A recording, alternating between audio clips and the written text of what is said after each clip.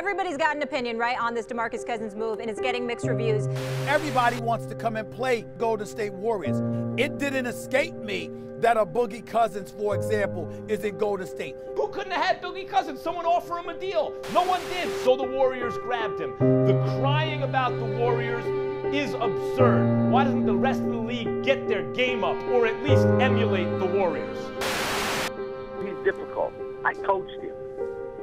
And and if you think that he's the only player that's difficult in the league, you're out of your mind. But I will tell you this, there are not that many all-stars. If it would be easier to incorporate KD than Boogie, Boogie greatly changes their offense. KD, yeah, he changes it somewhat because he, he, can, he can be a great ISO player, but Boogie really needs the ball.